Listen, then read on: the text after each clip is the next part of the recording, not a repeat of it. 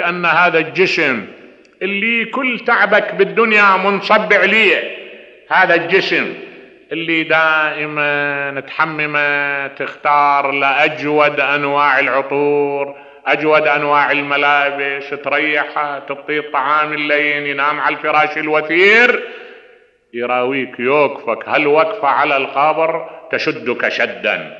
لتريك ما تحت هذا التراب. تقول لك شوف الجسد الناعم شنو مصيره؟ انزل إلى التراب هنا شوف إيش أكو تحت هذا التراب. نعم؟ شوف العيون الجميلة الأنيقة شوف الخدود شوف الوجوه الموردة. بأجمعها استحالت ترابا بأجمعها تحولت إلى ذلك الشكل الذي لو رآه الرائي انفجر له بالبكاء.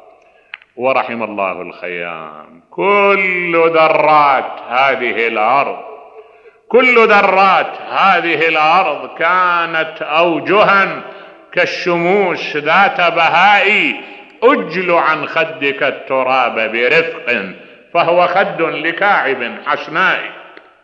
هذا أول شيء يرقق قلبك بعدين يذكرك الآخرة يقول لك هذا المصير ترى بعض الناس أصلا ما ما متصور أنه يموت ناشي أنه يموت.